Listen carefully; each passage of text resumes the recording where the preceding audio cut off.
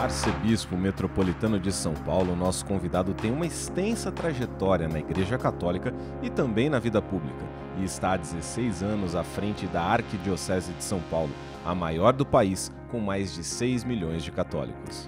Isso mesmo, ele é um dos oito cardeais brasileiros e participou do conclave para eleger o Papa Francisco. O SampaCast de hoje recebe Dom Odilo Scherer.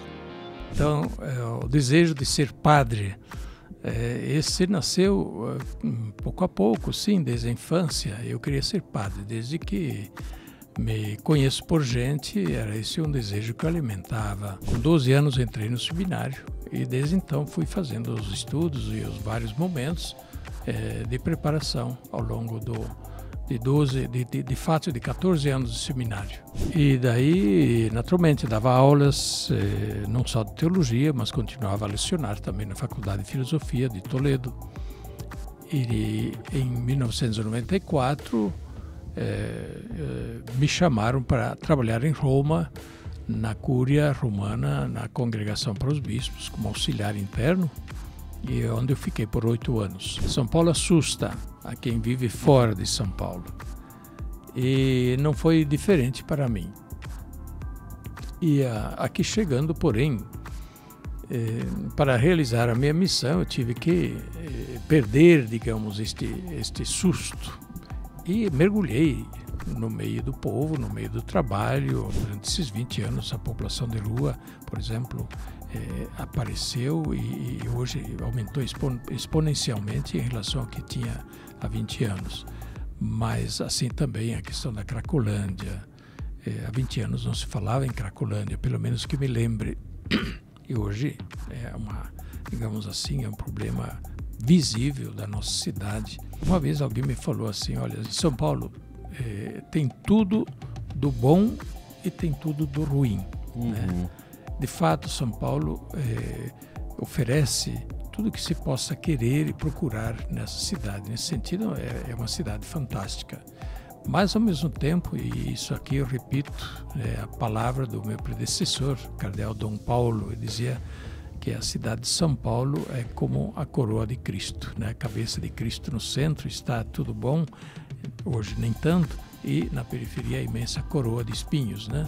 A internet e as mídias e tudo isso são maravilhas da técnica, não, não há que se dizer nada contra a própria técnica, mas a forma de usar, essa que é a questão. Portanto, nós temos que tomar consciência de que não, não é o instrumento que nos deve escravizar, mas nós é que devemos saber usar o instrumento Bom dia, boa tarde, boa noite. Eu sou Daniel Monteiro, esse é o SampaCast, podcast oficial da Rede Câmara São Paulo. E aqui ao meu lado, como sempre, minha parceira Carol Câmara. Tudo bom, Carol? Olá, Dan. Olá, São Paulo. Olá, Brasil. Tudo certo por aqui. Olá, Dom Dilo Scherer. Seja muito bem-vindo ao SampaCast e obrigada pela sua presença. Pois não. Muito obrigado pelo convite e obrigado por uh, poder estar com vocês um momento. É um prazer, a gente que agradece muito a sua presença. E, Dom, Dom Odilo, até como o mote do nome do programa, SampaCast, ele trata aqui da cidade de São Paulo, mas a gente sabe que o senhor não nasceu aqui em São Paulo, o senhor nasceu no Rio Grande do Sul. Para começar a contar a sua trajetória, como foi a sua infância lá no, no Rio Grande do Sul? Como foi é, esse período junto com a sua família, formação familiar, histórico? Olha, eu só nasci no Rio Grande do Sul, mas uh, com dois anos de idade a minha família uh, mudou-se para o Paraná. Uhum. Então eu cresci no Paraná, fui padre no Paraná e com o Rio Grande do Sul eu tenho muito pouco uh, a lembrar, porque não, ainda não tenho lembrança da infância uhum. no Rio Grande do Sul. Mas a infância no Paraná é, no interior, no oeste do Paraná, município de Toledo, é, faz é, na fronteira com o Paraguai praticamente, é uma região ainda nova naquela época, nos anos 50. Foi uma infância é, simples, eu posso dizer feliz, éramos muitos irmãos, e a vida era, era simples entre conviver é, com, com os outros em casa, com a família, a escola, pequenos trabalhinhos que nós fazíamos. e naturalmente a, vida de, de, de qualquer menino da época. E, Dom Odilo, é, desde, desde a sua infância, né, você idealizou né, a sua ida para a igreja. Quando que surgiu essa vontade, essa vocação mesmo? Na igreja eu entrei desde o batismo, né? Então, é, o desejo de ser padre, é, esse nasceu é, pouco a pouco, sim, desde a infância. Eu queria ser padre, desde que me conheço por gente, era esse um desejo que eu alimentava e, naturalmente, para isso havia, uh, havia motivos, referências.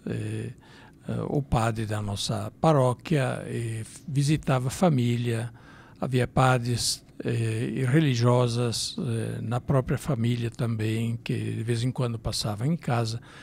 E isso era, portanto, um, um, algo que passava pela minha cabeça, sim, de menino, de também querer ser padre. Era um, um sonho, um ideal é, que a gente foi alimentando. E depois, quando terminei os estudos primários, é, veio a ocasião de entrar no seminário, ainda seminário menor, como se dizia, porque a gente entrava ainda menino, com 12 anos entrei no seminário e desde então fui fazendo os estudos e os vários momentos é, de preparação ao longo do, de 12, de, de, de fato de 14 anos de seminário. São 14 anos de seminário até o senhor ter sido ordenado padre? Sim, de minha parte, sim. Uhum. Hoje é diferente porque os jovens hoje entram mais adultos e, em geral, com um curso superior já feito. Eu tinha apenas uh, o curso primário, portanto, eu tinha 12 anos quando sim. eu comecei. O, até para quem não conhece um pouco de como é a Igreja Católica e essa formação dentro, qual é a trajetória até se tornar um padre? Quais são as etapas que a pessoa que busca seguir essa vocação precisa cumprir? Bem, é, é o itinerário do, do seminário, né? Uhum. E nós temos várias etapas do seminário. É, no meu tempo, nós tínhamos o seminário menor, Uhum. E, portanto, no seminário, no seminário menor, nós fazíamos os estudos pré-universitários, que eram o ginásio e o colegial, ou clássico, ou científico, no nosso caso era o colegial, né? Que hoje seria o ensino médio. Né? Uhum. Depois, uh, primeiro curso universitário, filosofia, segundo curso, teologia. Todos quatro, três anos de filosofia e quatro anos de teologia. Então, é, mas este é o percurso de estudos. O seminário não é só estudo. O seminário é um percurso formativo também, e ao longo de todo esse período é, aprendem-se as coisas da igreja, aprende-se aquilo que vai ser ofício depois do padre, a sua missão, as suas é, posturas, é, as, enfim, né, o seu trabalho de padre. Isso tudo aprende-se no período de seminário. E Dom Dilo, quando que o senhor chegou na cidade de São Paulo, né? Como foi essa trajetória até chegar à cidade de São Paulo? Bem, eu fui padre pela diocese de Toledo, no Paraná. E é, ali eu trabalhei é, primeiro primeiros anos no seminário como formador de outros seminaristas. É, desde que fui ordenado padre já passei a trabalhar no seminário. E depois tive um tempo de estudos fora do Brasil, em Roma. Voltando, eu eh, tive a oportunidade de trabalhar uma paróquia na Catedral de Toledo. Ao mesmo tempo, também dava aulas, eh, aulas de filosofia na, numa faculdade que tinha em Toledo e aulas de teologia em Londrina. Uhum. E depois, uh, aí eu voltei a Roma para fazer o doutorado em teologia e voltando assumi o seminário maior também, mais uma vez, iniciando o seminário maior, isto é, de, de estudos teológicos eh, na cidade de Cascavel, para as dioceses da região oeste do Paraná. E daí, naturalmente, dava aulas eh, não só de teologia, mas continuava a lecionar também na Faculdade de Filosofia de Toledo. E em 1994 é, me chamaram para trabalhar em Roma, na Cúria Romana, na Congregação para os Bispos, como auxiliar interno, e é onde eu fiquei por oito anos.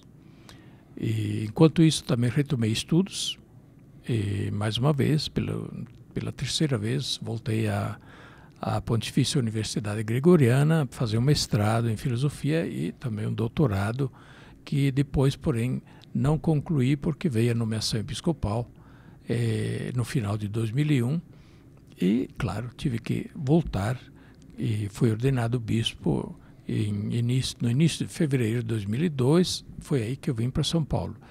Então, até fevereiro de 2002, eu não tinha nada a ver com São Paulo. E, portanto, é, daí eu vim como bispo auxiliar, fiquei aqui por cinco anos como bispo auxiliar.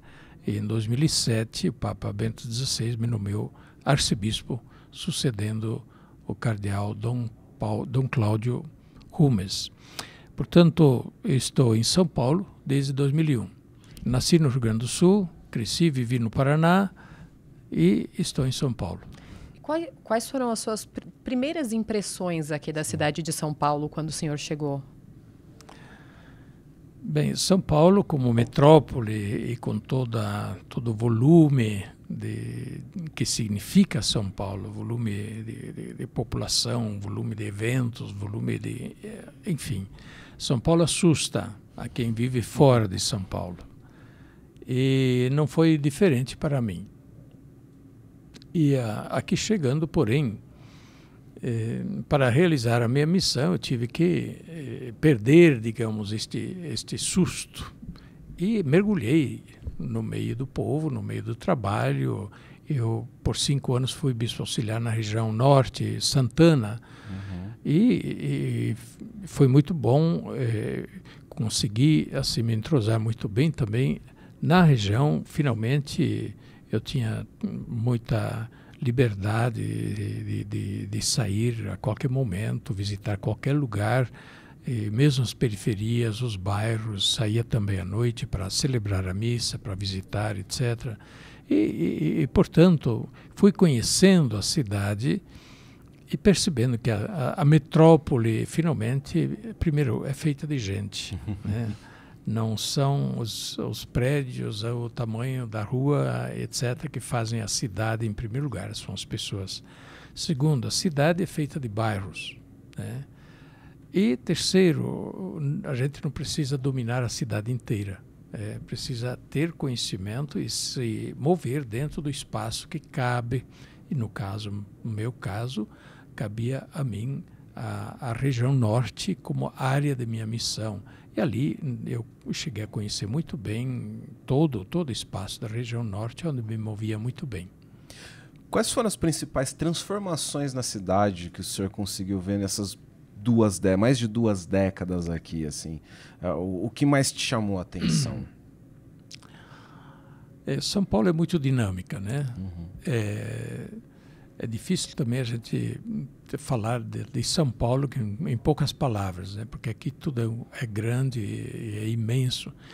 Mas eh, transformações, sim, houve, e eu poderia enumerar algumas. Primeiro, eh, havia, isso se percebeu logo, muito mais, digamos, eh, favelas, até mesmo na área próxima do centro, uhum. o que pouco a pouco foi sendo saneado. Segundo, é, a, como transporte, né, a cidade melhorou muito. Pareceria que a gente está dizendo uma bobagem, mas sim, é, ela era muito mais caótica há 20 anos. Então, a estrutura viária da cidade é, melhorou muito, mais metrô, é, o trânsito ficou muito mais disciplinado e, por outro lado, é, é uma cidade bem organizada. Né? Também isso poderia parecer estranho, mas de fato São Paulo é uma cidade bastante organizada e onde a gente se move bastante bem. Uh, o Rio Tietê e o Rio Pinheiros, nesses 20 anos, sofreram melhoras. É, e melhoras significativas na, no saneamento básico, mesmo que ainda falte tanto, ainda falte tanto, mas melhoraram muitas coisas né, nesse sentido da, da, do saneamento básico. Bem, por outro lado, é, claro, algumas situações talvez pioraram. Né? Esta questão hum, da, da presença né, da, do, do, poder público, sobretudo nas áreas periféricas, ela deixou a desejar e por isso se percebe em muitas áreas, eh, por causa da ausência do poder público, certamente uma presença maior do crime organizado, da, da uhum. violência, e, o que certamente nesses 20 anos piorou. Outra coisa que eh, visivelmente piorou em São Paulo é a situação de degrado do centro urbano, centro histórico. Sim. A área mais antiga da cidade piorou. E, lamentavelmente, ainda eh, não há uma solução. Eh, durante esses 20 anos, a população de rua, por exemplo, eh, apareceu e, e, hoje aumentou expon exponencialmente em relação ao que tinha há 20 anos. Mas, assim também, a questão da Cracolândia. há 20 anos não se falava em Cracolândia, pelo menos que me lembre. E hoje é uma, digamos assim, é um problema visível da nossa cidade Bem, mas de toda maneira, uma vez alguém me falou assim: olha, em São Paulo é, tem tudo do bom e tem tudo do ruim. Né? Uhum. Né? De fato, São Paulo é, oferece tudo que se possa querer e procurar nessa cidade. Nesse sentido, é, é, uma cidade fantástica. Mas, ao mesmo tempo, e isso aqui eu repito, é a palavra do meu predecessor, Cardeal Dom Paulo, ele dizia que a cidade de São Paulo é como a coroa de Cristo, né? A cabeça de Cristo no centro está tudo bom, hoje nem tanto, e na periferia a imensa coroa de espinhos, né? E com os seus muitos problemas da imensa periferia de São Paulo. Isso hum, precisa um dia ser encarado pela política urbana, por investimentos maciços para melhorar essa cidade. E Dom Dilo, quais são as principais ações da igreja aqui na cidade de São Paulo? Bem, a igreja tenta cumprir a sua missão, né? A sua missão religiosa em primeiro lugar, e temos muito o que fazer. E nesse sentido estamos atentos para melhorar e, e responder de maneira adequada às demandas da nossa missão religiosa, e que em primeiro lugar o anúncio do evangelho, é assistência religiosa à população, é cuidar para que de fato isso se realize da melhor forma, como é próprio e é a tradição da Igreja Católica. Mas a Igreja Católica tem uma presença muito grande também na área da, da assistência social, Sim. da caridade e, portanto, da, da, do socorro, né, da, da solidariedade em relação à população carente, à população é, mais abandonada descartada, necessitada de ajuda. E, e ouvi de um prefeito, não este atual, mas um, um, um, anterior, que dizia: olha, se a igreja de um momento para outro fechasse todo o trabalho social, a cidade de São Paulo viraria um caos. E de fato é assim. É uma imensidade de trabalho social que acontece é, a partir das nossas paróquias, a partir dos nossos colégios, conventos, as obras sociais que estão por toda parte e nós estamos, como Igreja Católica, presentes de forma capilar em toda a cidade, não só no centro, mas também nas extensas periferias, nas áreas mais pobres, estamos também presentes e sempre, junto com o trabalho religioso, também o trabalho social. Uhum. Nesse sentido, a Igreja Católica, como o senhor bem disse, eh, faz um trabalho até complementar ao do Estado, auxiliando onde ao pontos do Estado não consegue. Como é esse diálogo com o poder público? Como, como, como a Igreja concilia com o Estado? Até para a gente entender. Dependendo do tipo de trabalho, uhum. existem convênios, existem parcerias com o poder público, naturalmente dentro das normas estabelecidas e, e, isso ajuda muito a fazer um trabalho social. Mas, em grande parte, não há convênio com o poder público. Os trabalhos são realizados mesmo com o esforço das próprias comunidades locais e das iniciativas locais da igreja. E, no entanto, é claro, é, procura-se, na medida do possível, trabalhar é, em parceria com o poder público é, naquilo que, é claro, é possível fazer uhum. em parceria. nós tivemos um momento nos últimos anos de pandemia onde acredito que a, principalmente a situação social das pessoas mais vulneráveis piorou. De que forma a igreja também atuou nesse período tão complicado de existência humana, né? Durante o período da pandemia. Isso.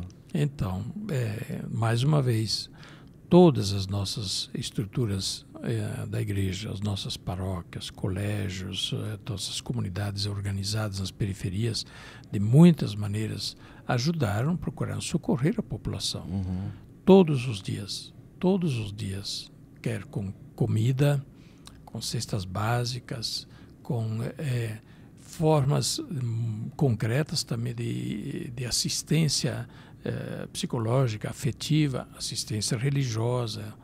E é, nesse sentido, eu acredito que o trabalho da igreja foi importante. E não se procurou fazer um cálculo, digamos, eh, para dar números uhum. ao volume de trabalho, mas foi um trabalho muito grande, um trabalho muito grande feito pela igreja e um trabalho permanente. Procuramos da mesma forma preservar os, uh, o trabalho durante o período da pandemia, né, eh, quando muitos perderam os postos de trabalho, e porque, claro, compreende-se que pequenas empresas, etc., não tiveram condições de continuar a sustentar, uma vez que também não havia os ingressos necessários. Mas eh, nós mantivemos, quanto possível, os, os postos de trabalho eh, nas nossas paróquias, nossas organizações todas. É claro, nesse caso, também valendo naquele auxílio que foi oferecido pelo governo para manter os postos de trabalho. Uhum. Né? Isso foi feito e, claro, não é que nossas eh, organizações eh, estivessem eh, isentas de serem atingidas também pelos problemas causados. Porém, na medida do possível, procurou-se fazer a, a, digamos, a, a partilha daquilo que se tinha, porque de fato a necessidade da população está muito grande. Em algum momento cogitaram, de certa forma, né, fechar as paróquias aqui de, da cidade? Bem, isso foi inclusive a mando do poder público, né, das autoridades sanitárias. E então, claro, nós também co colaboramos para que eh, não houvesse, ou melhor, para que se pudesse cortar, digamos, o ciclo da transmissão do vírus evitando as aglomerações, assim por diante. Isso por um período foi feito também. Nesse período, as ações sociais continuaram ou também tiveram que ser Não. paradas? Então, continuaram, porém, é claro, mais uma vez, a dificuldade. Não havendo, não havendo povo na igreja, não há ingressos e não há como continuar a promover. Mesmo assim, procurou-se apelar de outras formas. Foi quando se procurou trabalhar muito pela internet uhum. e as pessoas continuaram, de uma forma ou de outra, apoiando o trabalho da igreja, também com meio econômico, pela internet. A, a internet, ela é uma ótima ferramenta de, de comunicação, mas ela traz problemas também. Hoje vivemos, por exemplo, as pessoas não, têm mais, não se escutam, não têm mais tolerância, não conseguem mais dialogar. Como é o trabalho também da igreja nesse, nessa conscientização, talvez, de trazer de volta a humanidade das pessoas, né? Que se perde tanto com esse contato digital.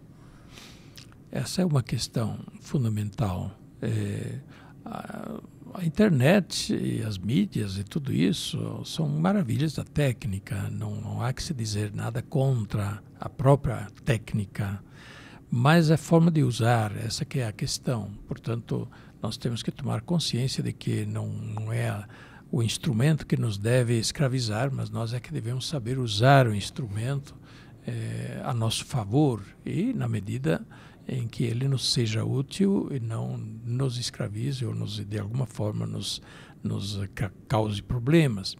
Então, esse é um discurso constante que nós fazemos também nas nossas igrejas, nossas comunidades. E o uso, o uso responsável, o uso é, controlado da internet, das mídias sociais, É, isso, de fato, é um chamado constante.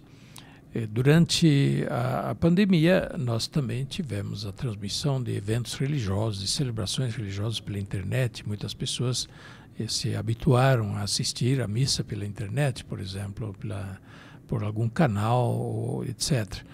Porém, é, isso não é o suficiente. A gente sabe que era uma possibilidade dentro do, das contingências que vivíamos. Mas eh, hoje nós apelamos às pessoas para que saiam de casa, vão à igreja, assim como fazem, vão sair de casa, vão à escola, sair de casa, vai ao, ao mercado. Isto é, a gente precisa ir ao encontro das pessoas, voltar à vida real. Eh, nós não podemos viver isolados numa bolha e por outro lado, num mundo, um mundo digital, um mundo virtual, nosso mundo é muito real e humanamente nós temos que interagir com as pessoas. E da mesma forma as expressões de religiosidade, mas muito ainda também de, de, de, de humanidade, de, de, de relações humanas, elas não são suficientes quando elas acontecem apenas de forma virtual. A gente ainda tem muita coisa para falar, Dom Dilo, mas a gente tem que ir para um rápido intervalo, então fique por aí que o SampaCast volta já.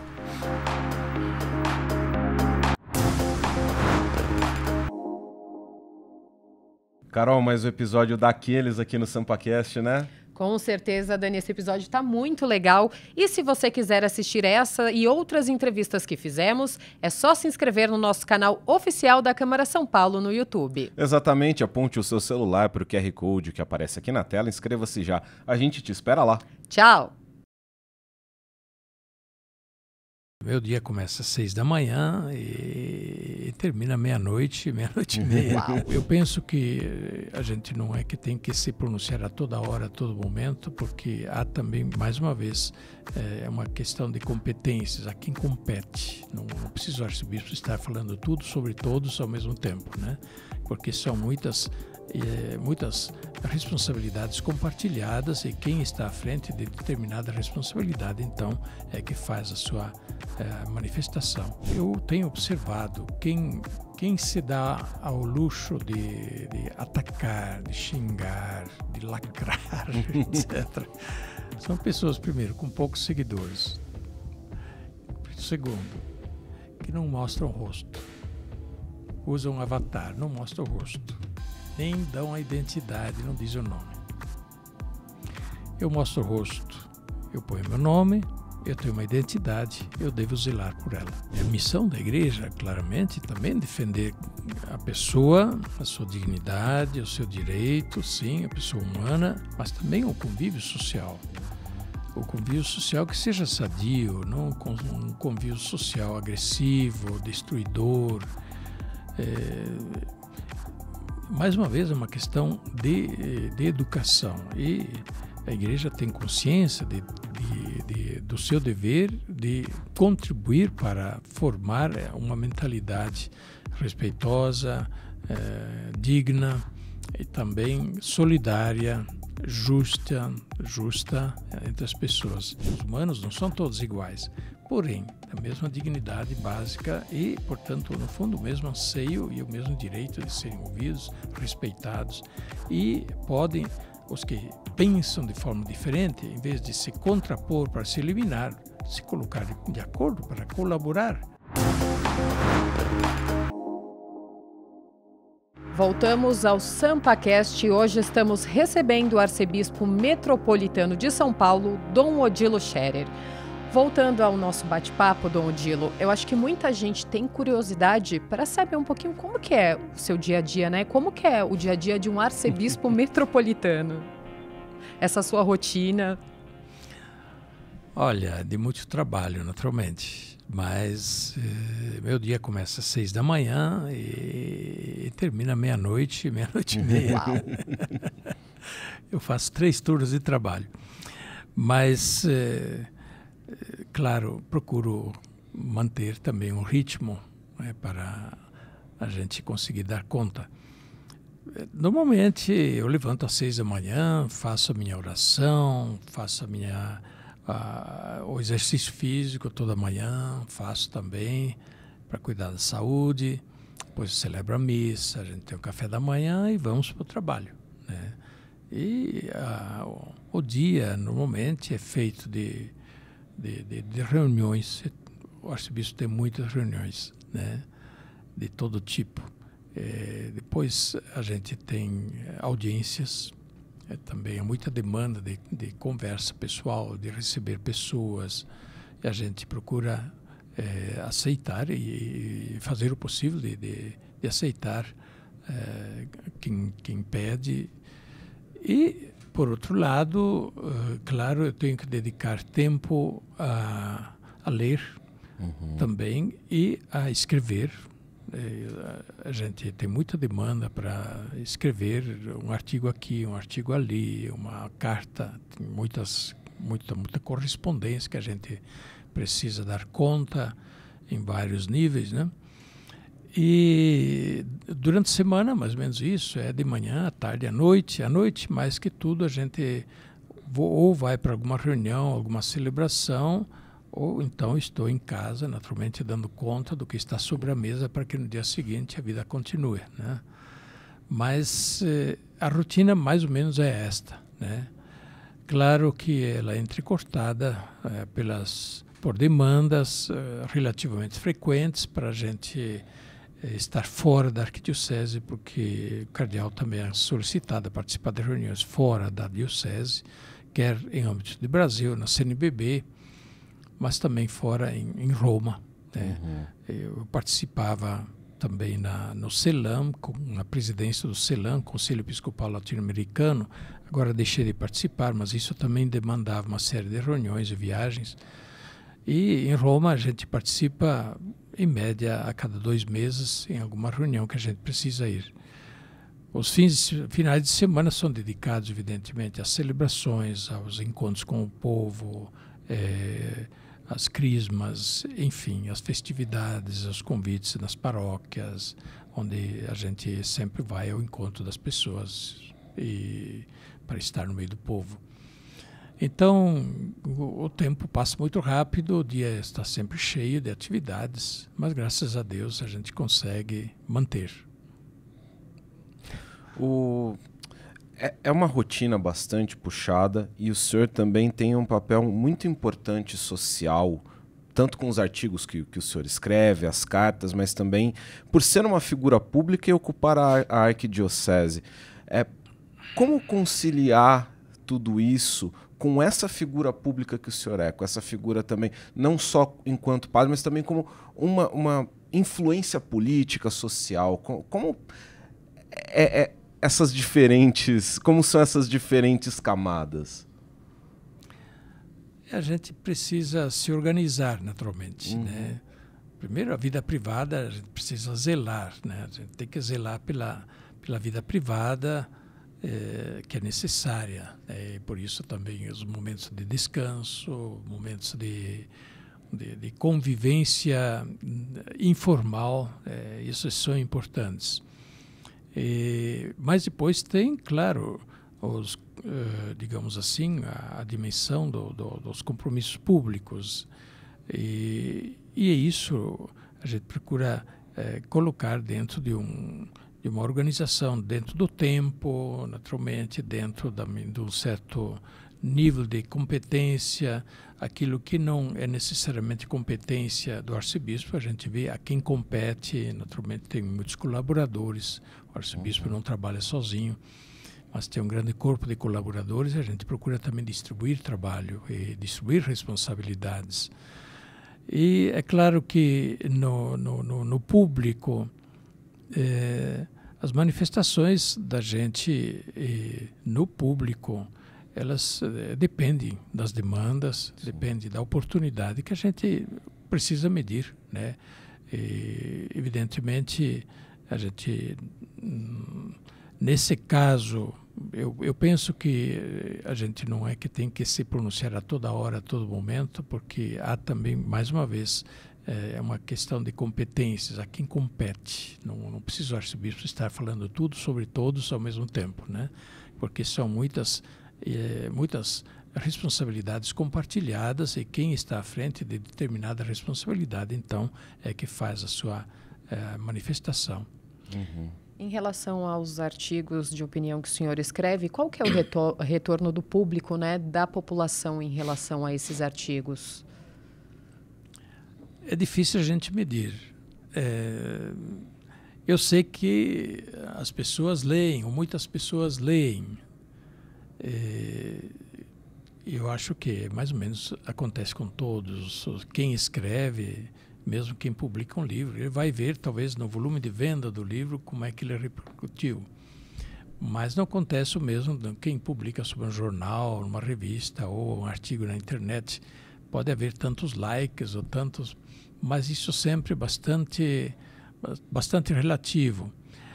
É, eu sei que é, é importante a gente fazer no que a gente faz, escrever, e, e não importando quantas pessoas a gente alcança, mas na certeza de alcançar. É um pouco, eu imagino assim, é, escrever um artigo, mais ou menos como dar uma entrevista também, né? É um pouco como você semear, né? Semear e você não sabe quantas sementes depois vão nascer, quantas vão produzir fruto, mas a gente faz o trabalho de semear muitos frutos vão aparecer um dia. Talvez não logo, mas um dia poderão aparecer. E, e me conforta quando de vez em quando escuto de, de pessoas, eh, sim, pessoas importantes que dizem, olha, li seu artigo, ou oh, que bom, então tem que cuidar o que eu escrevo. eu li o seu artigo, que bom. E, portanto, é sinal de que há quem leia e esteja atento àquilo que a gente diz. E, naturalmente, é, é, parte da missão da gente. A gente não tem um controle sobre o, o efeito, os frutos, mas a gente sabe que tem algum fruto, algum efeito, tem. E por isso a gente continua. É, até avançando um pouco nessa questão da opinião, Hoje também a gente vê uma virulência muito grande das pessoas, talvez discursos de ódio, as pessoas o tempo todo é hate, o tempo todo como, como, como que a gente consegue dialogar e quebrar essa barreira do ódio? O senhor mesmo falou que o senhor semeia, mas precisava semear mais paz, precisava semear mais. É, é, como o senhor enxerga essa questão? É, é uma questão complicada, né? A, a a, a, internet, as redes sociais são um espaço de livre manifestação. Né? Eu imagino né, as mídias sociais, a internet, as, afinal, a internet como uma grande praça, hum. onde cada um entra, fala, faz o seu discurso, quem ouve, ouve, quem aceita, aceita, quem não aceita, não aceita, quem xinga, xinga. E a gente precisa, eh, naturalmente, zelar pela própria imagem e pela própria, pelo próprio discurso. Se eu me torno agressivo na mídia, eh, eu acabo transmitindo essa imagem na mídia. E daí um pouco eu não terei mais quem me, me leve a sério ou quem me queira seguir e assim por diante. Então a gente tem, tem que cuidar exatamente por aí. Eh, eu, eu tenho observado quem, quem se dá ao luxo de, de atacar, de xingar, de lacrar, etc., são pessoas, primeiro, com poucos seguidores. Segundo, que não mostram o rosto. Usam avatar, não mostram o rosto. Nem dão a identidade, não dizem o nome. Eu mostro o rosto. Eu ponho meu nome, eu tenho uma identidade, eu devo zelar por ela. Uhum. Ainda falando dessa questão, né, da, de, que a gente falou da internet, de, das pessoas que hoje em dia são muito violentas na internet, como que a gente faz para atrair a atenção dos jovens? Como, como que a igreja né, faz para atrair mais a atenção dos jovens que hoje em dia só querem ficar conectados, não desligam do celular, é o tempo todo aqui na telinha do celular, nas redes sociais? Fora do mundo real, né? É, fora do mundo real. É um é um problema, é um problema, é uma questão também de educação. É, até quando isso vai, não sei. Deve chegar um momento de saciedade. Vai chegar um momento que as pessoas vão dizer: chega, deixa para lá. Né? Eu quero viver com os pés no chão, quero viver a coisa mais concreta. E ter relações pessoais, relações humanas com pessoas reais, não, não viver no mundo de fantasia ou de. Na final, né? Eu acredito que vai chegar uma saciedade, né? E é um equilíbrio mas creio que dependa de, de um, um, processo de educação, de educação e, e, também de responsabilidade maior, que é uma questão de postura, né, no uso da mídia, no uso da mídia. De fato, é, é, hoje vivemos um, um, um, tempo complicado nesse sentido que é, se usa muito mal a mídia, muitas vezes, mais para eh, destruir, hum, destruir, eh, atacar, eh, espalhar ódio, preconceito e assim por diante, do que edificar as relações humanas, edificar as relações sociais. Eu, eu acredito que, que se possa chegar a esse momento de um uso mais responsável da, das mídias, assim como acontece de modo geral, com os grandes meios de comunicação. É, ninguém está fazendo televisão fazendo isso, fazendo uhum. é, espalhando ódio. Rádio da mesma forma, o jornal. Bom, se alguém faz, bem, fica muito bem identificado e terá talvez o seu público que vai consumir isso, mas não vai ter muita audiência, não vai ter muita acolhida no grande público. A Igreja Católica também tem um papel muito importante na defesa da sociedade, defesa e há alguns, um bom tempo a defesa da democracia também. Como influenciar ainda mais? Hoje a gente está vendo pessoas, sei lá, falando volta à ditadura ou, ou trazendo, trazendo pensamentos como esses de volta à baila. Como, como tratar esse assunto? Como a igreja se posiciona em relação a isso, para essa luta? Só continua a luta também. Claro. É, sim. É, é, a missão da igreja, claramente, também defender a pessoa, a sua dignidade, o seu direito, sim, a pessoa humana, mas também o convívio social. Uhum o convívio social que seja sadio, não um convívio social agressivo, destruidor.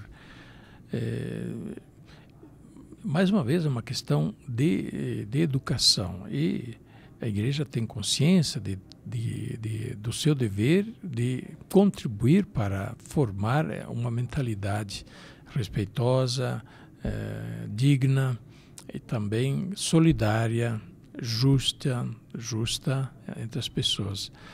E eu lembro o, a fala do Papa Francisco a, aos jovens em Portugal, na Jornada da Juventude, que aconteceu no início de agosto, onde ele, ele punha esses valores para a juventude. E uma das palavras, um dos temas, inclusive, da jornada foi esse da amizade social, né?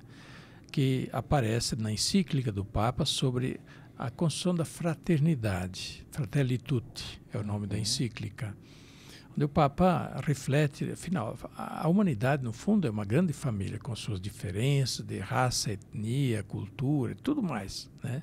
Porém, somos todos humanos, temos, somos uma grande família e, portanto, devemos, em relação, uns em relação aos outros, ter uma atitude de respeito, de fraternidade, né? de fraternidade. E, portanto, isso foi refletido também na Jornada Mundial da Juventude. Um, milhão e meio de jovens uhum. atentos a esse tema, com muito desejo de levar isto a sério. Eu acho que é por aí. É preciso falar, é preciso falar em vez de, de, de propagar agressividade, ódio, incentivar a polarização. Não, falar exatamente o contrário, aquilo que respeitosamente constrói a sociedade uma convivência harmônica onde não estão excluídas a diversidade de pensamento, de opinião e de tudo que possa se pensar no conjunto dessa diversidade. Os humanos não são todos iguais, porém, a mesma dignidade básica e, portanto, no fundo, o mesmo anseio e o mesmo direito de serem ouvidos, respeitados e podem os que pensam de forma diferente, em vez de se contrapor para se eliminar, se colocar de, de acordo para colaborar e se complementar. E eu acho que nós precisamos trabalhar muito nesse sentido, numa educação comum, né, para a convivência, senão nós vamos absorvendo de novo um princípio é, de interpretação da convivência humana lá do século XVII, né, de um certo filósofo chamado John Locke, que dizia que o princípio que move a convivência social é a violência. Hum. É que a força, da, a força que move o progresso da sociedade é a violência. Homo hominis lupo, o homem é lobo do outro homem. Ora, nós não podemos aceitar esse princípio. O homem é irmão do outro homem e não o destruidor, o lobo, o devorador do outro homem. Exato.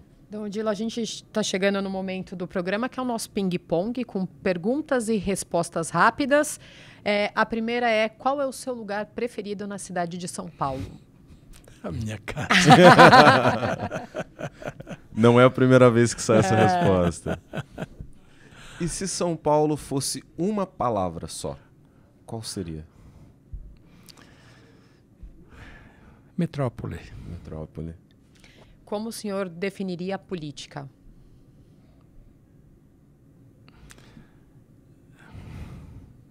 É difícil definir com uma palavra, mas é, eu diria política é o espaço de convivência, a arte da convivência. A arte da convivência. É. E como o senhor definiria a religião? É, a religião é, é, se falamos em arte, né, podemos falar também em arte, mas aqui é mais do que a arte. É. Aqui é o caminho do, da busca do encontro de, com Deus, da busca de Deus, do encontro com Deus. E qual é o seu sonho para o futuro da cidade de São Paulo? Aí é fácil de falar, né? É uma cidade é, sem violência, é, sem pobreza, é uma cidade é, solidária e atenta, sensível às necessidades do próximo. Para o nosso público jovem, qual conselho o senhor deixaria para eles? É muito fácil também, né? O jovem acredite no seu sonho, vai atrás com toda a coragem e seu esforço atrás do seu sonho. Se o senhor pudesse voltar no passado para conversar com Dom Odilo Scherer mais novo, qual seria o conselho? Para dar a Dom Odilo um, novo, um conselho? É, para o Odilo do passado, aquele jovem. Olha, encare a vida com coragem. E saindo já do ping-pong, indo para o encerramento da entrevista, da, desse nosso bate-papo, que mensagem o senhor deixaria para o público que, que está nos, nos assistindo? Qual, qual, hoje seria a, a, a, grande mensagem que o senhor deixaria para a gente? Alimentar a esperança. Alimentar a esperança. A cidade de São Paulo tem um enorme potencial. É, aqui é, é, há muita gente e onde há pessoas existe muito potencial para fazer as coisas boas. E, portanto, quem tem a capacidade de contribuir para fazer a coisa boa nessa cidade, pois faça. Né? Não dê espaço a quem usa suas energias para fazer o mal. Faça a coisa boa. Dom Odilo, muito obrigada pela entrevista. Foi uma honra ter o senhor Sim. aqui no programa. A gente espera que o senhor tenha gostado também. Muito obrigado pela oportunidade, sim, foi interessante. Muito obrigada. Nós que agradecemos de verdade. É, esperamos em breve, em breve, falarmos de novo, podemos abordar mais assuntos, outros temas, mas agradecemos de novo mesmo a sua presença, é uma honra. E esse foi mais um SampaCast. Espero que vocês tenham gostado e semana que vem tem mais. Continuem acompanhando os conteúdos da Rede Câmara pela TV Câmara São Paulo, pelo portal da Câmara e também pelas nossas redes sociais. E não se esqueça também de se inscrever no nosso canal no YouTube, Rede Câmara São Paulo, a sua conexão com a política da cidade. Até mais.